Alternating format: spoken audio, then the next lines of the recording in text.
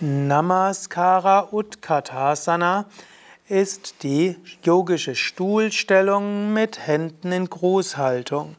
Vom Stehen ausgehend beuge die Knie so weit wie du kannst, gib die Handflächen zusammen vor dem Brustkorb, lächle und grüße. Manchmal musst du deine Ehrerbietung auf anstrengende Weise erweisen.